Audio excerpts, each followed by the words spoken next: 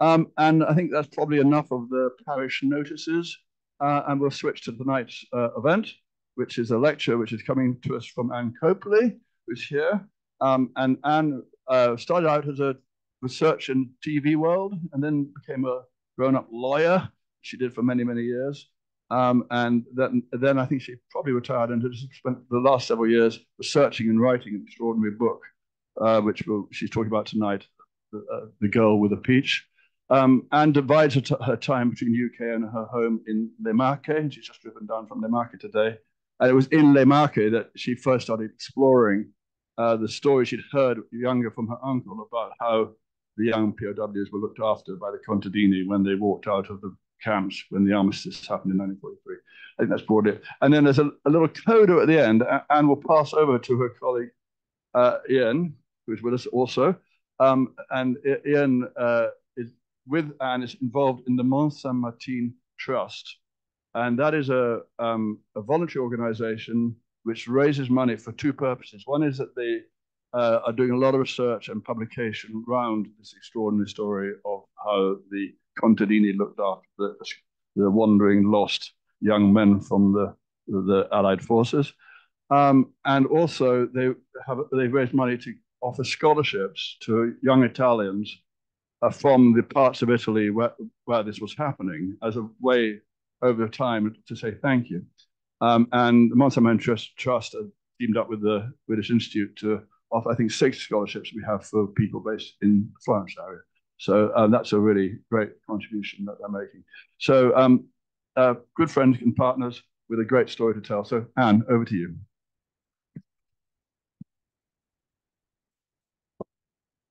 oh, good. I am working.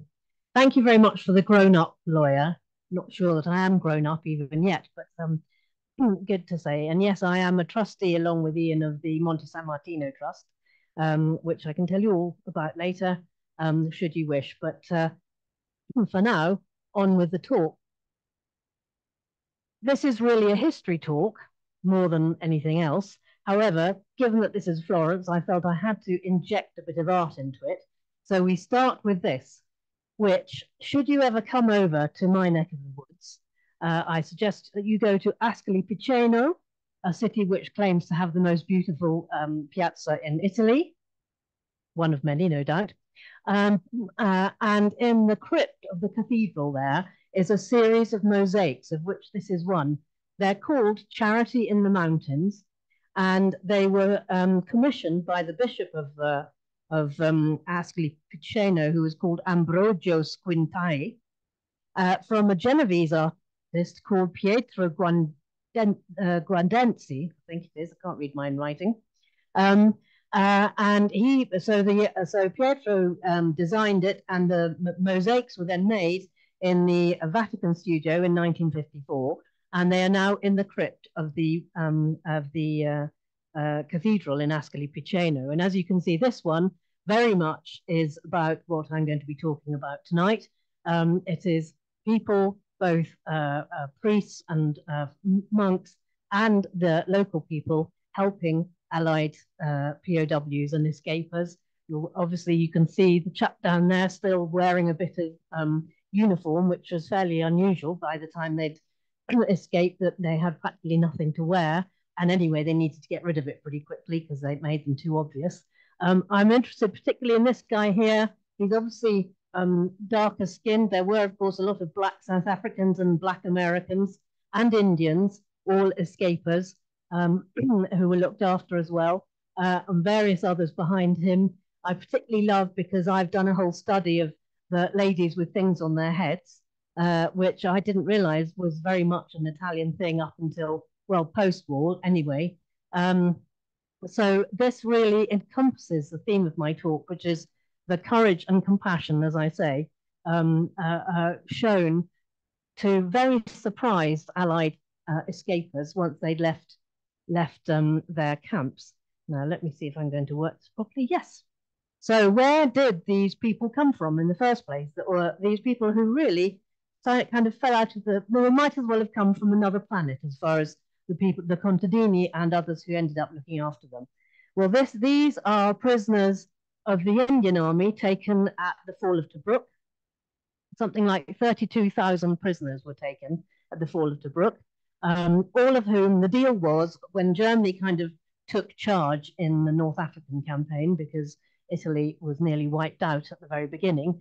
Uh, the deal was that um, any prisoners that were taken would be handed over to the Italians. And there's lots of stories from the prisoners themselves of Germans taking them prisoner and then apologizing profusely that they had to be handed over to the Italians. so uh, they were handed over to the Italians, sometimes in contravention of uh, the G Geneva Convention.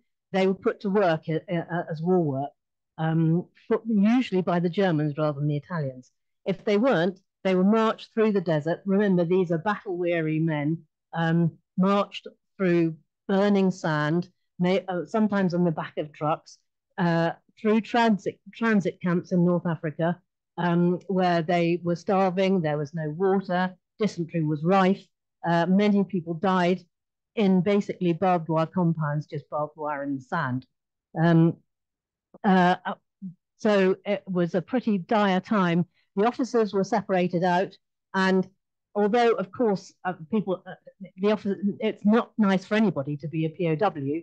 Um, certainly, the officers had a slightly better time of it. They tended, on the whole, to be flown from Africa over to Italy, or sometimes put in ships, but nothing like what happened to these guys, um, which I'll, I'll, I'll, come to in a minute. As you can imagine, the uh, the opportunity to escape was pretty at this stage was pretty um, negligible. You're in the middle of the desert. You're probably a thousand miles from from the Allied lines, um, and uh, you stood out like a sore thumb. However, partly because it's such a wonderful painting, I wanted to introduce you to this chap.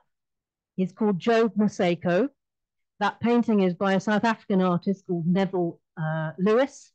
Uh, he is uh, he he was a war artist, obviously during the war. Painted a lot of black South Africans. Uh, painted uh, Montgomery three times apparently. Um, and Job uh, is an amazing character. He did escape and walked for something like 18 days back to Allied lines through the desert, stealing water on the way from German and Italian encampments. So, you know, uh, having to do that secretly, obviously.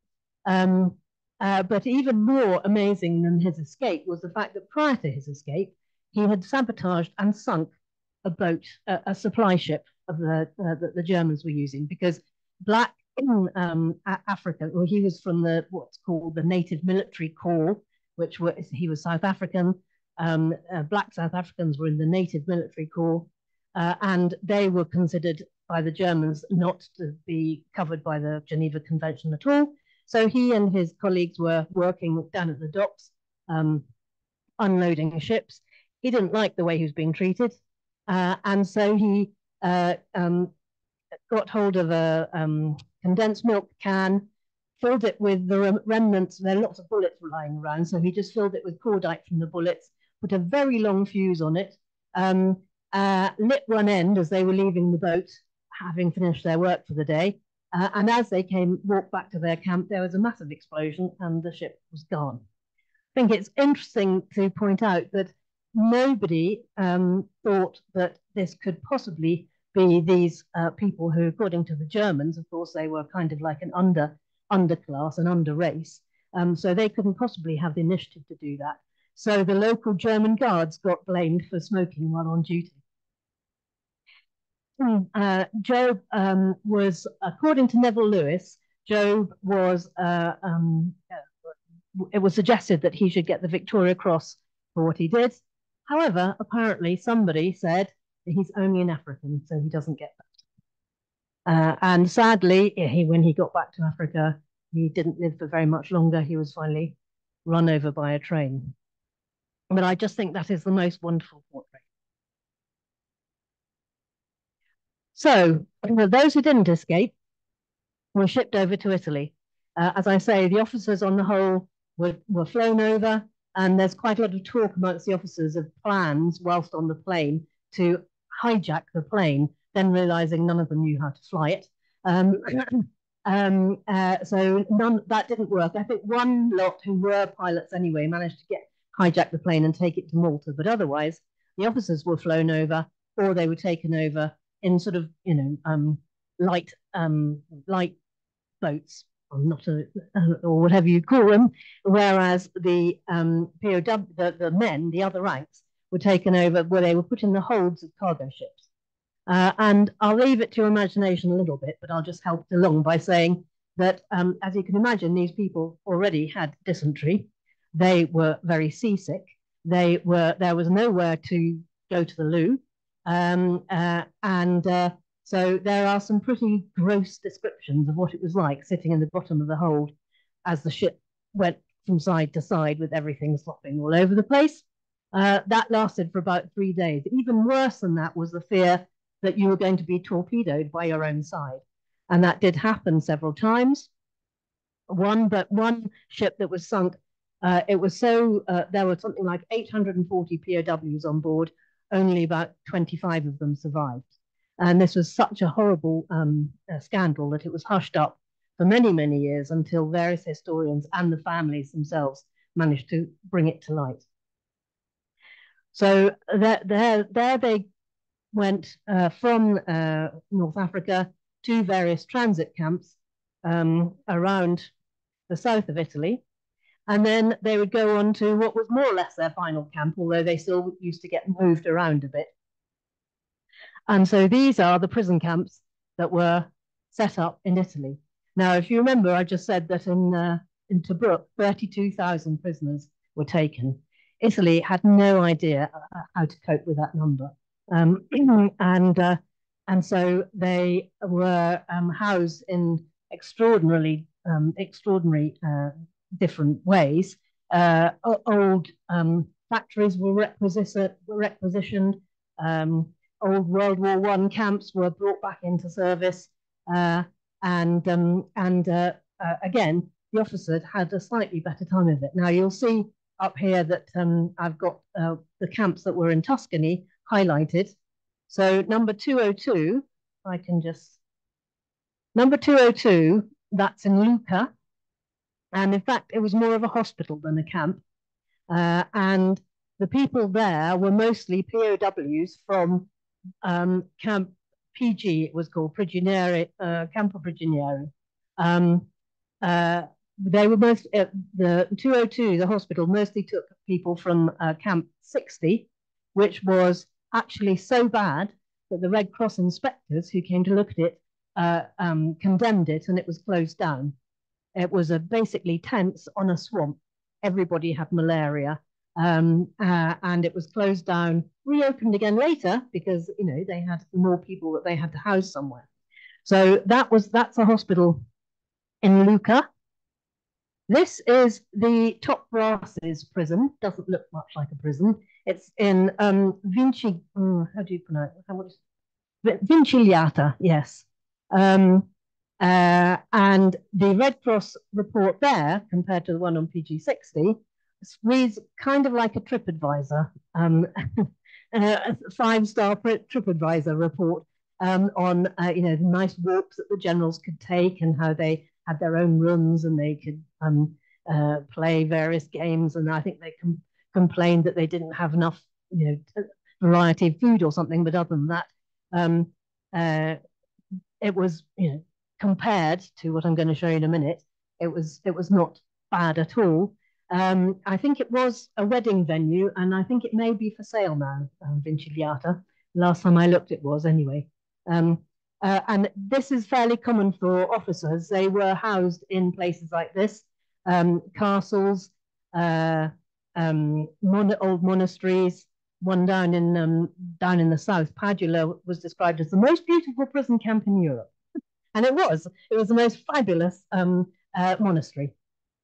Um, uh, and this one is uh, near, where is it? Near Poppi. Uh, and again, this is a, an old um, Capuchin monastery. Uh, that's PG 38. Uh, and that also housed officers. I think it was meant to house New Zealand and uh, Australian officers. They're supposed to be separated out by nationality. Um, and there's a wonderful quote from somebody who, when they first arrived saying, the commander greeted us as if we were his guests. In the mess hall, the tables were set with white tablecloths and brand new cutlery. So, you know, no wonder a lot of them didn't want to bother escaping. Now, our hero, whose book this is here, um, Frank, he is one of the other ranks, and this is what his camp looked like. Not quite the same at all. Not only that, but when he arrived, those huts did not exist. He, they, it was a, a greenfield site, and they had to build their own. Well, they lived in tents, and they had to build their own accommodation. And Frank apparently was in hut 11, so he had to wait for numbers 1 to 10 to be built before he had anything other than a, a tent to stay in. Uh, well, everything from 1940 to 1943. This is what they uh, some of the camps look like inside. This is actually PG Sforzacosta, which is over in Le Marche, my neck of the woods. This is by an artist called Paul Bullard, who was a POW over there. Um, and this is one of those requisition factories I mentioned. Uh, uh, and you can see three tier bunks, very close together. Apparently, the best bunks were the top bunks because you could talk to people all around you and you had a bit of light so you could read later. Next best was the bottom bunk because you could sit on the floor and play cards with your mates.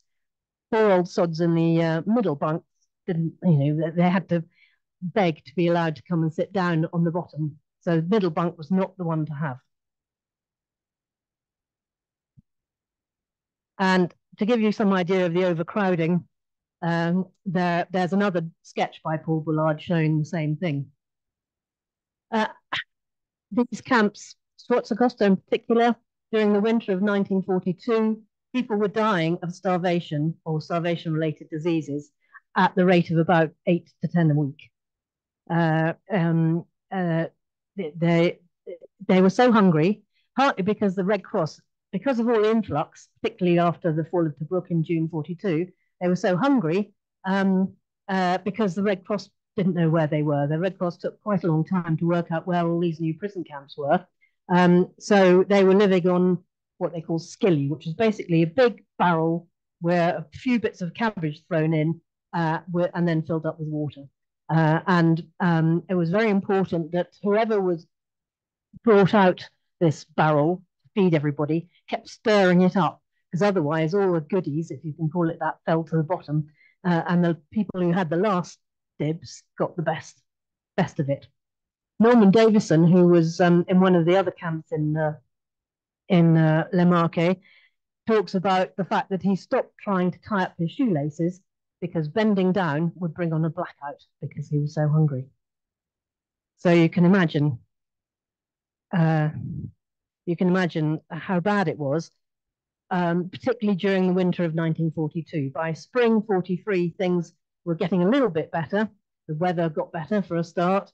Um, Red Cross parcels started to arrive more regularly.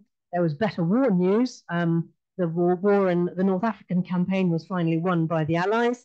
Um, and there were escape attempts made, mostly they were unsuccessful, but there were a few ingenious ones, which you can read in my book. um, Frank here, the, this guy, Frank, who's our hero, um, uh, he uh, actually made an exploratory escape to see if it was possible and then came back. I have no idea why. Um, uh, and he was then involved in a grand tunneling um, uh, uh, enterprise, uh, which was actually overtaken by events, so the tunnel was never used. But tunneling wasn't just um, in, you know, like the Great Escape. Uh, there were tunnels dug in practically every prison camp, as far as I can understand. Servigliano, which is close to where I live, there were three tunnels built.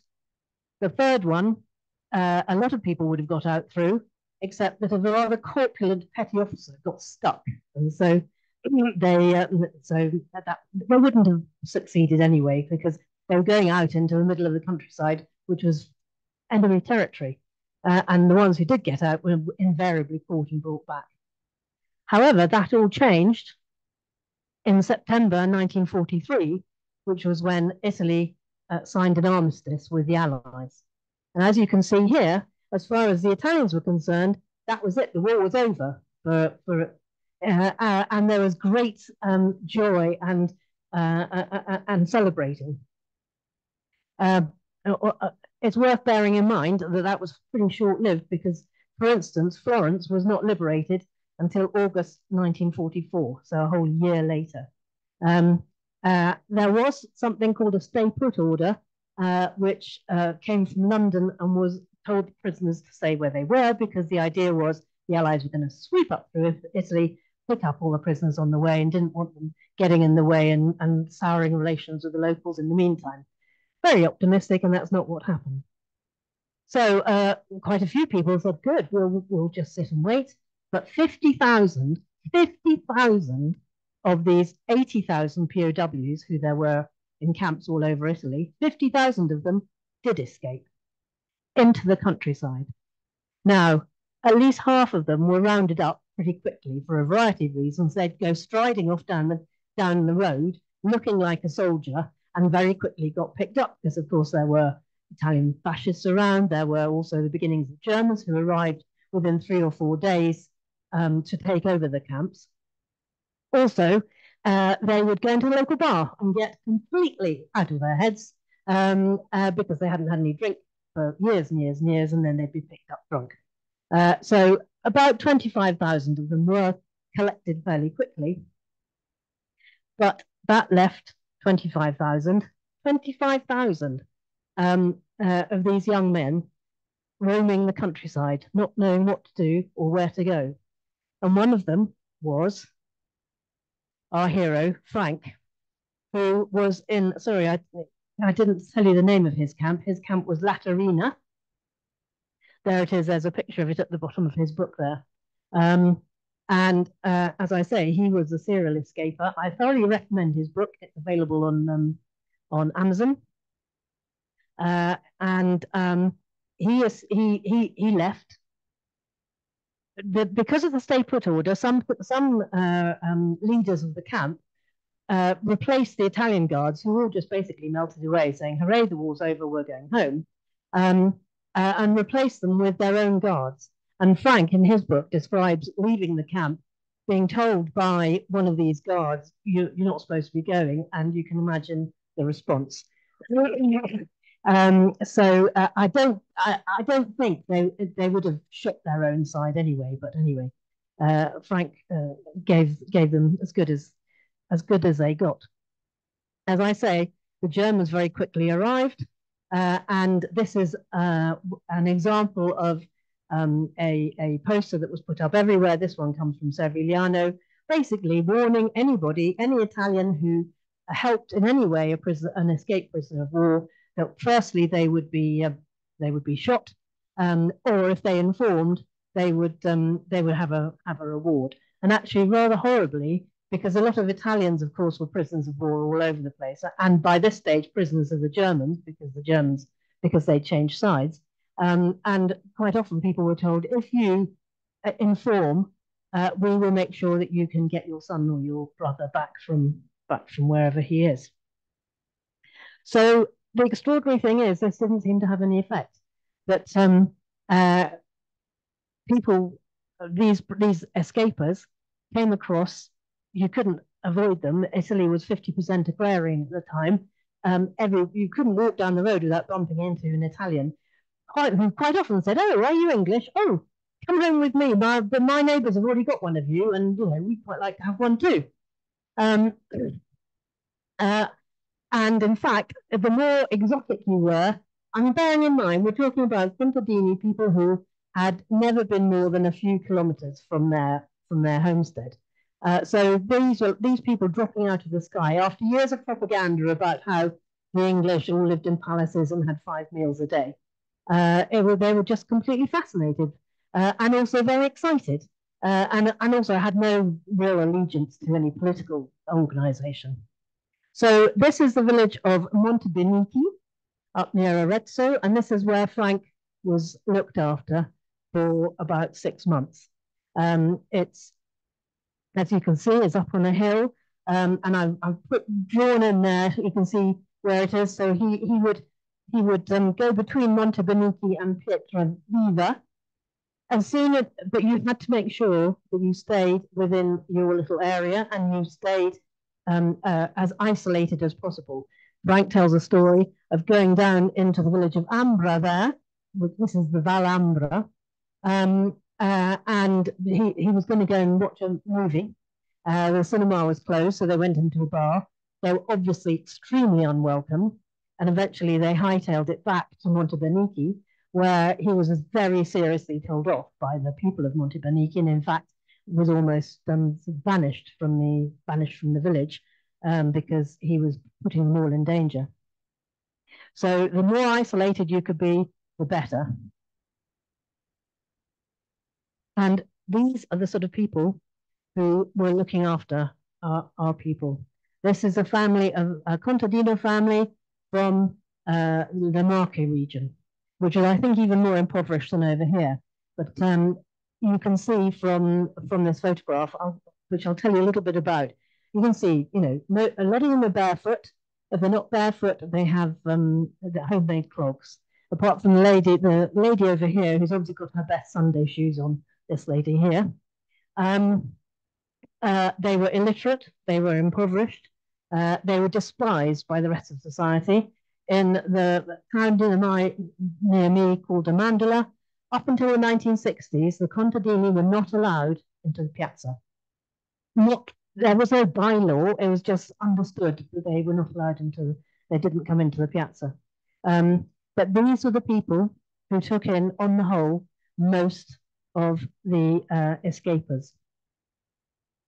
Now, the, of course, these people were illiterate, um, and so there's very few first-hand accounts of what it was like, what the life of a contadino was like. I will recommend to you two books. One is this, if you are Italian uh, speakers, it's called Il Vergaro. The Vergaro was the head man. Um, uh, uh, there could be up to 30 people living in, in this in a house together or um, working together, and the Vergaro was the spokesman for all of them. This guy, um, uh, Renato Pigliacampo, he started life as a in a contadino family, ended up as an academic, and he gives wonderful stories. Well, he, he writes wonderfully about the life of a contadino and how despised they were. This one I'm not sure is on Amazon. It's I don't and I don't know whether over here you've heard of the wine Ciù Ciù. It's very famous over in Le Marche. In fact, my husband even found it in Bogota, Colombia. Um, uh, this guy also, um, Natalino Bartolomei, started as a contadino and is now a major wine producer. This book is in Italian and has been translated into English. And again, Natalino talks about um, the fact uh, what it was like growing up just after the war. The, the system of sharecropping, which is what this was, and med as it was called, um, uh, went on until the 1980s. It finally died out in the 1980s. So there's a lot of memories um, about what it was like. And as I say, they were despised. They had to give half of everything that they um, that they grew to their padrone, to the, the landowner, who could throw them out without any reason on a whim. Uh, altogether, it was a very, very hard life. Um, and certainly that's what uh, the prisoners, the escapers, thought. Um, they, uh, they talk about finding themselves back living in the Middle Ages. Um, uh, and Ray Ellis, uh, one of the people in my book, uh, talks about living in his history books. It was like going back 500 years or more. Um, these photographs, just in passing, were found by my friend Giordano Viozzi when he was clearing out his um, aunt's house after she died. We don't know who they are. We know who some of them might be because um, they're Giordano's relatives. On the whole, we don't know who they are. We don't know who took them, but they are the most fantastic collection. They're, they're going to be exhibited in um, Monte San Martino shortly, and I'm hoping to arrange at least one exhibition in the UK because I mean, this is just a tiny selection of really beautiful, beautiful photographs of the contadini who are normally in photographs um, are kind of the bucolic addition in the background of a, of a beautiful landscape.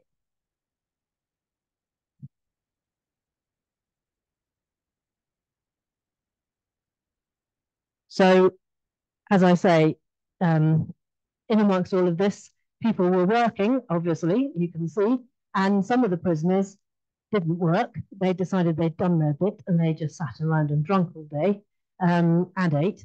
Uh, Frank, in his book, talks about the drunk miller who loved the British because they'd saved him in the First World War and said he was going to become, stay intoxicated until the Allies arrived. And he was housing six prisoners um, all of whom were also fairly intoxicated most of the time, did no work. Others worked very hard. Ray Ellis, again in my book, um, talks about how appallingly he, he, how difficult he found really from dawn till dusk and beyond, working the fields, looking after the oxen, all the rest of it, and a, a lot of other. Uh, uh, uh, one of the other prisoners um, uh, that I refer to, Len Dan, uh, is kind of compares it. He was writing in the 1960s, and he compares it to trade unionists at the time, and they would they don't know they're born compared to what it was like working as a contadino. Uh, of course, there was fraternization with women, although um, for the women, mean, as I said, there was all this propaganda about wealth and all the rest of it. Um, oh, and, and a lot of the young men had, had scarpered for a variety of reasons, mainly because if they were rounded up by the Germans, they'd be taken off for forced labor. Uh, so there weren't any young men around. Plus, there were the only young men around looked like really good prospects. Uh, so there was a lot of fraternization.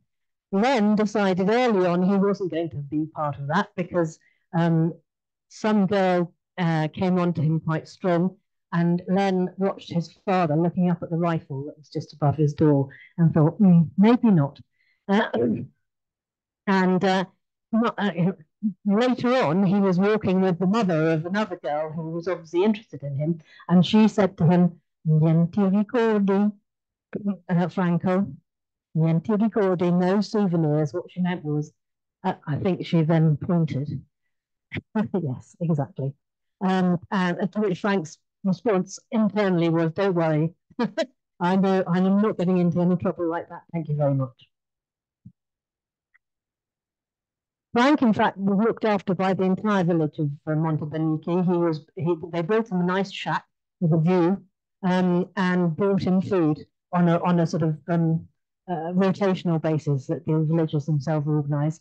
Others lived within a family and became like a family member called the, the, the head man and woman, Mama and Babbo, um, and were treated like a son, uh, uh, which also made it very hard for any of them to leave. The Italians didn't want them to go, uh, and uh, actually, the official figures show that about 2,000 are unaccounted for. 2,000 of the escapers are unaccounted for. Now, some of them may have died for a variety of reasons, but I'm quite sure, in fact, I know anecdotally, that there are some still living amongst us, or their children and grandchildren are living amongst us. They just merged into the countryside where they've been staying with their Italian family uh, for all that time.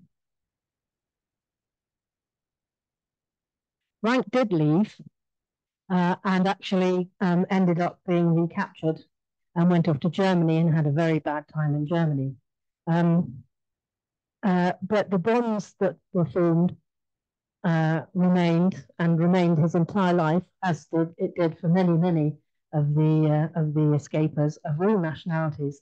Um, uh, my friend Samar Salvi, whose Indian father, uh, grandfather Ramchandra, was looked after by the uh, by the villagers in San Villa San Sebastiano down in um, Arezzo.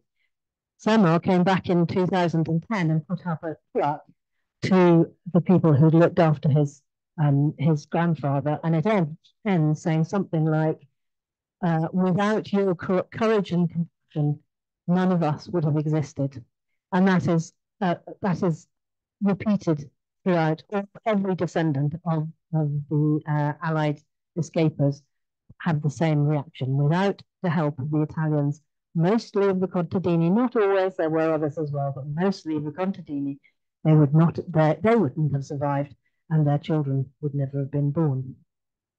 As I say, Frank uh, came back regularly every year, right up until his death.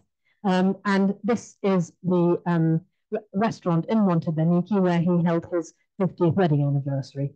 It's still there. Apparently, uh, also the castle is a very smart hotel now. Uh, and that's really the end of the story. Uh, as I say, there's Frank in his old age. Um, this is uh, this is Keith Killby on the, on the other side, who was our, the founder of the Monte San Martino Trust. He was probably the only conscientious, conscientious objector ever to serve in the um, SAS, uh, and uh, he founded the trust and named after Monte San Martino, which is uh, uh, where he was first given succor over again in the Marche, um, uh, and of which uh, both Ian and I are trustees. And um, Simon's already explained the sort of work that we do. Anybody who's interested in becoming a supporter, it doesn't cost you anything. Just go to the website, say you're interested, and we will then get lots of emails and Facebook. Um, and there is my book. There I, I have given you an only really a little sort of Tuscan view of what went on. My book, of course, covers, covers a much wider group of people, going from all the way up to very north of Italy, where people stayed for up to 18 months because it took that long for the Allies to finally liberate the Veneto and places like that. Um, and now I'd like to hand over to my colleague and uh, trustee Ian, Ian Laing, um, who actually did have, uh, well, his father did have actual Florentines looking after him.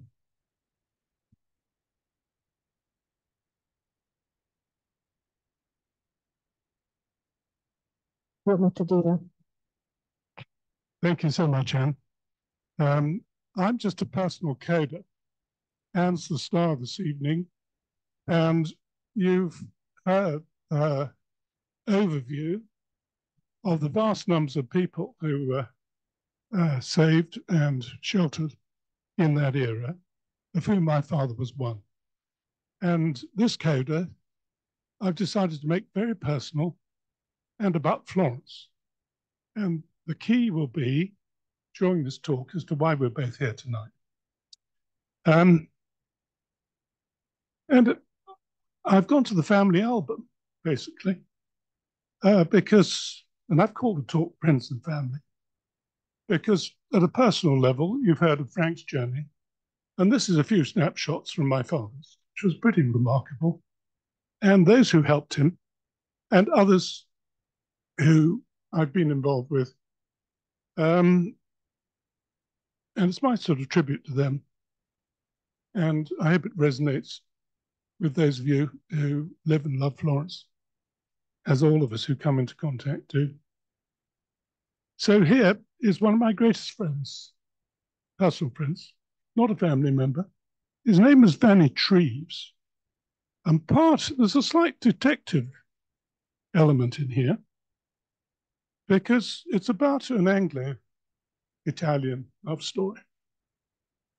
And so you have to guess with each of these characters Where's the Anglo and where's the Italian bit? So I suppose with Vanny, the name is the name is probably the clue. Because he's sitting here in the garden of House in London. Uh, but he was born here in 1940 in Florence. His father was a professor at the University of Florence and was at the time Italy's greatest living academic expert on Lytton Strachey and the Bloomsbury set. His mother was also Italian. His father was a member of the partisans and was killed by the Germans. So his mother was widowed with a four-year-old child by the time the Allied armies liberated um, Florence. And um, thankfully, uh, an Allied officer, an English officer, fell in love with his widowed mother. And so Vanny was scooped up in 1945, brought to England as a five year old, and was himself brilliant academically. Um, he was ahead of me at Oxford. He went, went on, had a Fulbright scholarship uh, to University of Chicago, became one of the leading lawyers in the city, chairman of the oldest insurance company in London, chairman of endless other companies, of London Business School, where we spent an enormous amount of time together building it up, and was an altogether good egg, including raising millions and millions for all sorts of charities, the NSPCC was very close to his heart. And towards the end of his life, um, I understood why. Um, but so was so was our little trust, and he raised a million pounds for it to help endow the scholarships that we give to bring firstly the children and now the grandchildren of those contadini and other Italians who helped us, helped our fathers uh, when they're on the run in Italy. So that's a that's a story with Italian roots, and it ends up very much in London. A supremely urbane, humorous, wonderful character, and he's got that sort of Italian physiognomy still, hasn't he? Um, Lorenzo Gallorini, of whom I don't have a picture, is an 18 year old from Montespertoli, excuse my pronunciation. And he em is emblematic of the link that started a year ago when I came to see Simon. A year and year and a fortnight ago, I think it was. And um, he is a member of your Advantage English program here in Florence, uh, which I was immensely impressed by. And our family is, is, um, has funded a prize or a bursary in Vanni's honor as a token of our friendship. And he is the first recipient of it. And he at the moment is over in Wimbledon for four weeks learning English. He comes from a quite a modest, as we say with understatement, uh, English understatement, very modest family background. But this is his, we hope, part of a leg up in life to give him a better understanding of English that will hopefully um, hopefully help him in later years in his career. And he's actually, out of that meeting with Simon just over a year ago, we now have a really flourishing collaboration led by Amanda from your end. Where are you, Amanda? You know everybody here, who's been absolutely fantastic and is so appreciated by all our volunteer colleagues at ARIT. And it's a really deep co collaboration. Because I came over and I talked, I understood you had three different levels of English schools and all the rest of it. I said, well, why don't we just start gently? We have one from each of those three streams. But by February this year, Amanda had generated 26 fantastic applications. And they're also good. We ended up giving them five bursaries. And we really do encourage you, Amanda, and your other colleagues, please, it's just fantastic because we have now plenty of children and now grandchildren from Emilia Romagna, from the Marche, and further down, the Abruzzi, but none from Florence. Um, and it's just wonderful to feel this. And these are guaranteed for the next three to five years, and they will be permanently endowed thereafter. I'm quite sure. Wonderful link. So here's another Anglo-Italian looking couple, wouldn't you say? Back in the 50s. Who are they?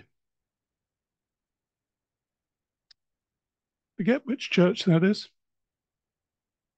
There's a young bride. Very young man. Over here, teenager. It's my father. And he's as tall as I am, which is six foot three. And he spent the best part of three months here in Florence in 1943 and early 44 um, behind German lines. He was saved countless times in his work as a liaison with the partisan groups here. Um, and the, particularly the two families that I'd like to give you very specific examples of their courage.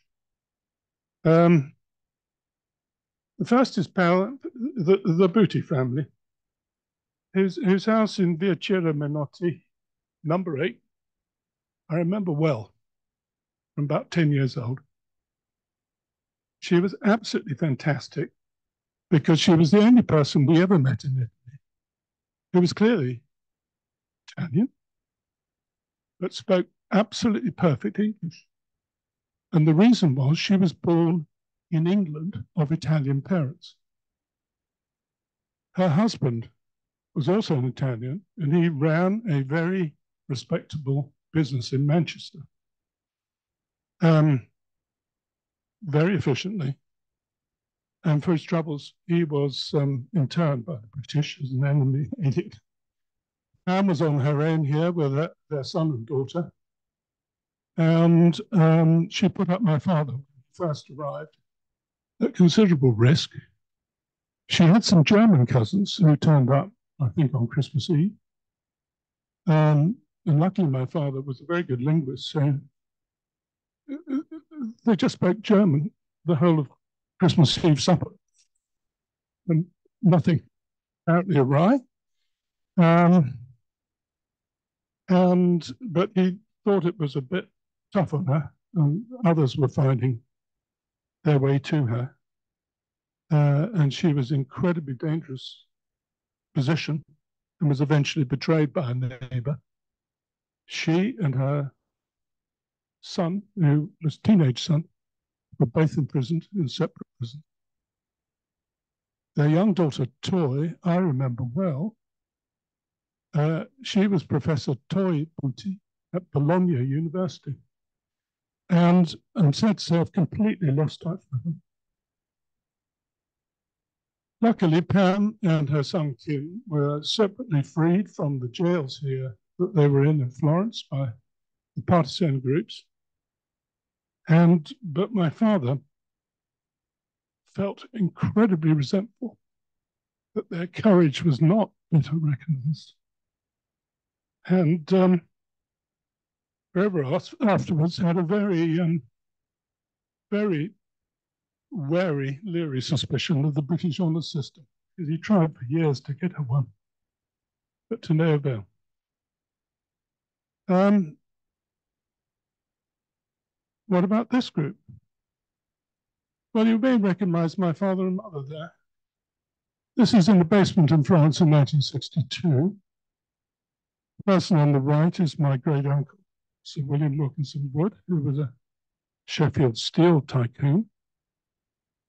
Most of the way down the left hand side, last but one is my grandmother, and the rest of them are the Tarchiani family, who are completely legendary within the Laing family because they were the ones.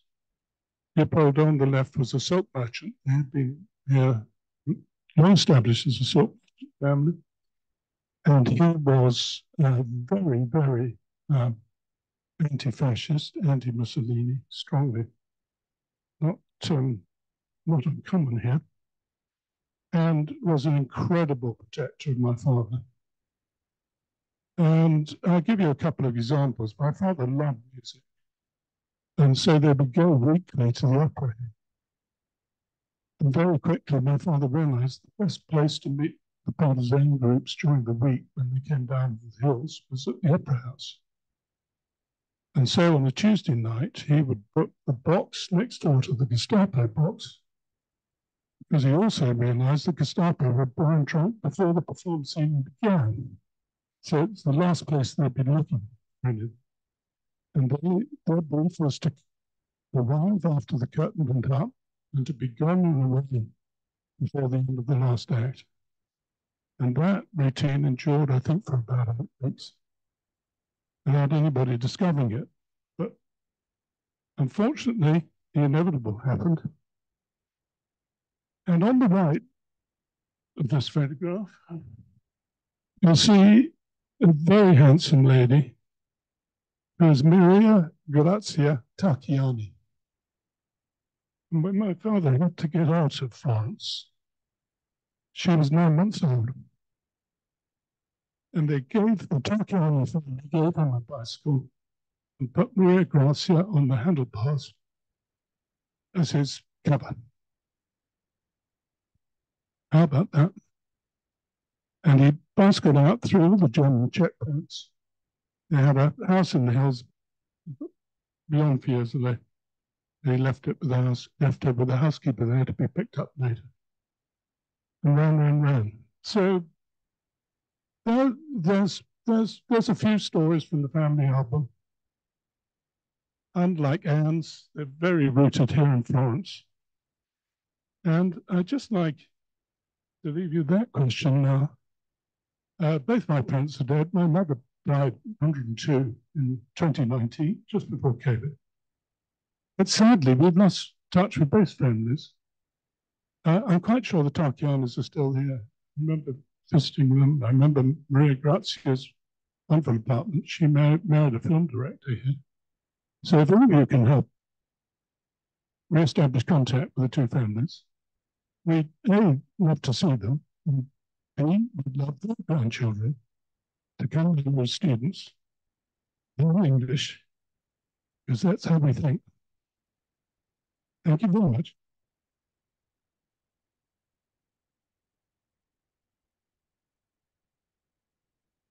Well, thank you very much, uh, Ian, for that very personal illustration of the, the, the bigger story. Um, I'm looking at Amanda now. We've got a project on here. We've got to find Tarchiani and Bhutia. Um, and somehow, you know, the scholarship's waiting for them, so it's an incentive. Um, but we'll do that. Uh, just to fill in a little bit of detail, which some of you in the audience won't be familiar with, the Advantage English program that Ian was referring to is an initiative of, of our English language school over at Viale Mazzini, which is headed up by Amanda. Um, and it's been it's now in its third year just starting. Uh, and it's a program which has been very generously funded by uh, Paul Brown's foundation, many of you know Paul, um, to establish an opportunity for people in Florence, young, pe young people in Florence from the less advantaged communities to get the opportunity to study uh, English with the British Institute of Florence, which is by far the best in town. Um, and it's done in collaboration with the Comune who've helped us to navigate it. So it's a, an important program for the British Institute giving back to Florence and enabling uh, the benefit of learning English, which can change your life. If you speak English, your employability goes through the roof. Um, so it, it, thanks to Paul Brown, and I don't think he's here tonight, but in our centre uh, for that. And also, uh, it's lovely that we've managed to combine it with the uh, partnership with the Monte San Martino uh, Trust to get one of the advanced English kids a scholarship this year, last year. So that's a bit of detail to explain that reference that Ian made. Okay, so as always, um, we'll now move to the question and answers bit, where um, feel free to uh, put your hand up if you're in the room, and I'll bring you the microphone so you can ask uh, Anne or Ian a question or make a comment. Uh, as always, on the Zoom, if you're there, um, you can put something on the chat, and I'll read it out for you. Um, or if you're feeling really brave, you can unmute and talk to us, and we'll hear you in the room. Um, so, does anyone want to get started um, with any thoughts? Uh, but can you do the microphone so the Zoomers can? I would like to know the uh, where the title of your book comes from. Ah, well, you'll have to buy the book to read the read the story. uh, all I will say is that um, the girl with the peach is a symbol of the compassion that is always there, even in the most uh, appalling circumstances. Okay. Um, uh, and a lady called Anna Kay on the Zoom has put up the question which I was going to ask, which is what what was the core motivation people for people to help the POWs? Was it humanistic compassion? I'm, I'm really curious as to why the contadini, well, in a sense, were so enthusiastic to help these ragged lost boys. Well, again, I have a chapter in my book called Motivations, which which addresses some of that. I mean, bear in mind that um, uh, the, uh, as I said, uh, uh, on the armistice, the Italians thought the war was over. Hooray! Um, a lot of the contadini, of course, were, had no interest in anything outside their immediate environs. Certainly weren't politically motivated in any way. Um, uh, and uh, I think it sounds corny, but the basic bedrock of of the help given by the Italians to the uh, escaping allies, allies was their common humanity. There were these ragged young men turned up on their doorstep, half starved, half dead, and they were taken in. Um, and a lot of these contadini, a lot of these Italians already had sons somewhere else, uh, uh, prisoners or fighting somewhere else. So they were they became kind of um, uh, proxy sons, if you like, or actual sons. Really, they were considered. Uh, so there are other there are other reasons. I think um, Ray Ellis particularly says that well, you know, when we first arrived, uh, everybody thought the war was going to be over in, in a couple of weeks. So great, we'll take you in, have a big party. There were lots of big parties. Somebody describes them themselves walking through the Italian countryside being like a glorified pub crawl because everywhere they stopped, somebody would offer them a glass of wine. Um, then, so then Ray, for instance, um, uh, was taken in by this family. Within two weeks, he'd become embedded in that family. They considered him part of the family, and there was no way they were going to let him go. Uh, so, uh, as I say, uh, the corny answer is common humanity. Can can you move in front of the um, camera then the people can see? Sorry. Yeah, did you want? Well, now I can see myself. That's horrible. I just wanted to add a little reinforcement to part of that answer, which is my father. My father never stopped saying that one one one of the great phrases that was always uh, given by hosts was, "We have a son. Mm. He's on the Eastern Front, and we hope and expect someone is looking after him." Um, but it comes down to that core humanity.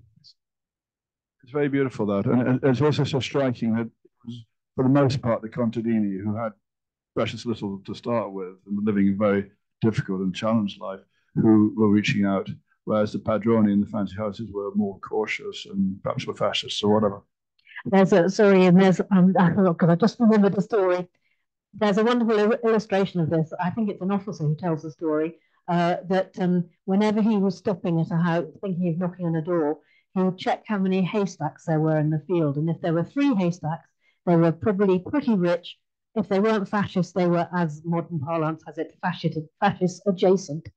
Um, one haystack, and they were just too poor, they just wouldn't be able to give them anything. So, on the sort of Goldilocks principle, two haystacks was the gold standard. I think I think that's that's a great summary of, of up in the hills of the Abruzzi. You ought to have seen the Tarchiani apartment here in the center of Florence. They've been silk merchants for generations. They were rich, very rich. And many in Florence were doing it out of principle. It's a slightly different story. So it depends right where you landed um, as to Indeed. exactly what the motivation was. Um, Indeed, and I mean it's a lot of. Oh, oh, oh, sorry.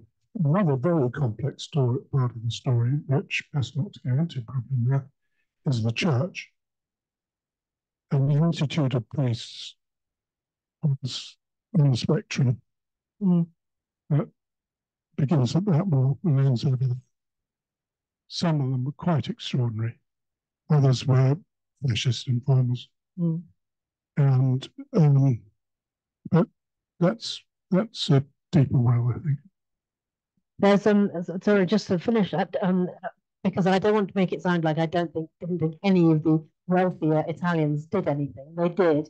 Um, and Frank tells a wonderful story of a princess uh, living in a in a castle uh, near near to him, who the local carabinieri, they would have to be told by the Germans if they were going to have a roundup. So as soon as the Germans told the carabinieri, the carabinieri would tell the princess, who then would uh, send messages out to all the prisoners to scarp her for a few days. And in fact, I'm sure you all know of Iris Origo. Yeah, so we got one here and then another here. Hi, I just wanted to thank you for putting such an interesting light on that part of history my father, who was born in America, was a first generation Italian, volunteered for the OSS in the Navy, and was assigned with three other men to be dropped behind the lines during the war before the Allies got there to bring the downed pilots from the north of Italy to Sicily. He tells very interesting stories about how the partisans snuck he and his men through and the, and the help that the contadini gave them. I also wanted to say, um, I know several people, Georgiana Corsini, Principessa Corsini, who now calls herself, or who called herself, she's passed away, a contadini. And I know several other people who also well educated, also call themselves contadini. So I just am curious, is it still considered a bad thing to be called that? That's interesting because um, in the, it, it, that can have the same pejorative meaning as peasant can have in English. Um, it, it, probably to a certain extent depends what you put in front of it. Um, uh, but also, um, uh, I, what I think is fascinating, a whole different story really, is the generational gap jump. So um, Giordano, who I was talking about, who found these photos, he's now a well-respected filmmaker. Two generations back, his family were illiterate peasants, uh, illiterate contadini. Um, uh, so there was a jump from the Middle Ages to the 21st century within maybe one or two generations, which is extraordinary. Thank you so much. But um, I think that these uh, contadini uh, helped, you know, Allied soldiers also because most Italians hated the Germans. So they were actually on the Allied side, Allied side even though before September 8th, 1943, we were uh, allied with the Germans and the Japanese. But, you know, I think that most Italians didn't really sort of support, you know, so they didn't actually support that that that alliance. So that's why they were so so generous, and, you know, helpful with uh, the, the Americans and the British, etc., etc., etc. Yes, although I have to say, again in my book, there are several stories of uh, German deserters being looked after in exactly the same way. Um, uh, and there's some really extraordinary stories of German deserters being there at the celebration by the partisans of the liberation. Uh, so it's a bit more complicated than that. I mean, yes, they did. They were deserters, but they were also, yeah, enemy deserters. Yes, they were deserters. That's right.